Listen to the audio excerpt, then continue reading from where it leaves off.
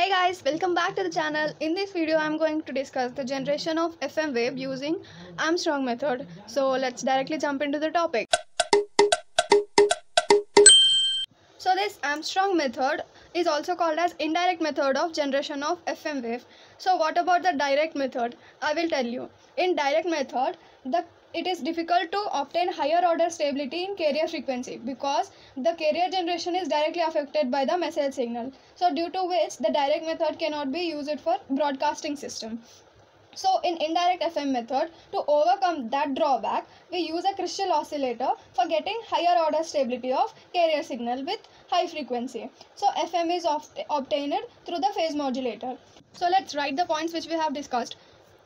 The main disadvantage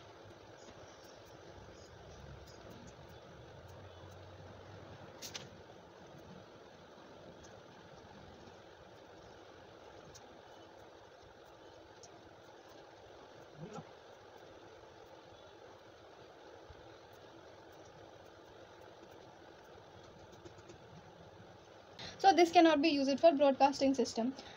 Let's talk about the indirect method. In indirect method the narrowband frequency is indirectly generated by using the phase modulation technique. And these narrowband fm signal is further converted into wideband fm using frequency modulator. Let me tell you what is narrowband frequency and what is wideband frequency.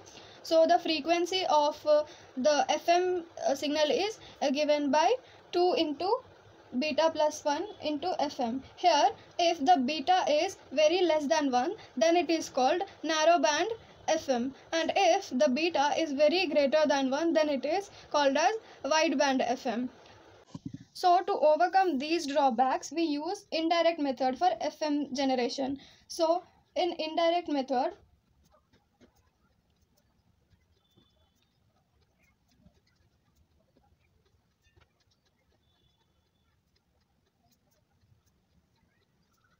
we use the crystal oscillator for getting higher order stability of the uh, carrier signal with high frequency. So the basic principle is to generate the narrow band frequency this narrow band frequency and this will be converted into wideband frequency using the frequency multipliers. We can use as many frequency multipliers as we want. So that is the basic principle of armstrong or indirect method. So let's see the block diagram of this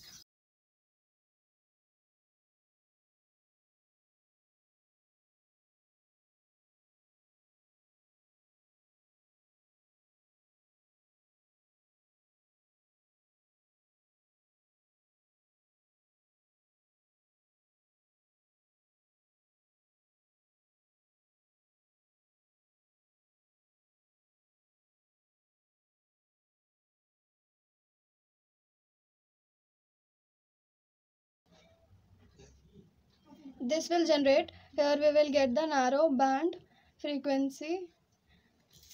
And uh, we can see that this is the crystal oscillator. The crystal oscillator will generate the carrier signal. Here we will get the carrier signal which will be having a frequency of 1 megahertz frequency so we can clearly see that this is the crystal oscillator which will generate the carrier signal and this crystal oscillator will help us for getting higher order stability of the carrier signal with high frequency. So 1 megahertz is very quite high frequency right. So this carrier frequency will be sent to a buffer which will hold the signal for a while and then this will be sent to a combining network and 90 degree phase shifting network. To both the networks we will send the carrier signal and here we are applying the message signal. This audio equalizer will integrate the message signal and this will be sent to a product modulator. And from here side the carrier will be sent and uh, to the 90 degree phase shifting network. Uh, 90 degree phase shifting network means this cos omega ct will be shifted by 90 degree. Or you can say that 90 degree is added to this uh, angle or you can write it as omega ct plus 90 so you will get sine omega ct so this sine omega ct is 90 degree phase shifted carrier. This will be applied to the product modulator. So what uh, signals are we getting at product modulator? This message signal integration and this 90 degree phase shifted carrier signal. So from here also the carrier signal which is not shifted is coming to, to the combining network and this product modulator will give two sideband signal. So this both will give the narrow band frequency F, uh, signal and uh, this is the narrow band fm so this is the product modulator outcome that is narrowband fm so this narrowband fm will be converted into wideband fm by using this frequency modulator this network is just a phase modulator for generation of narrowband FM. The main story starts from here. The narrowband FM will be uh, converted into wideband FM using this frequency multiplier.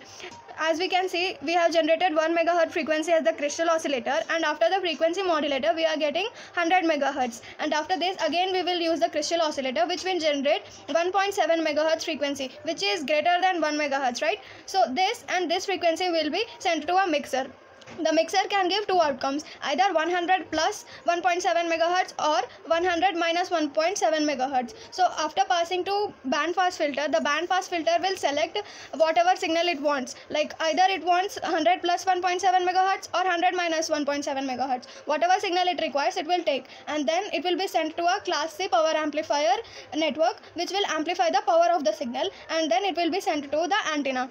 That's it this is the operation of the Armstrong method or indirect method. So basically, we generated the narrowband FM using this phase modulator.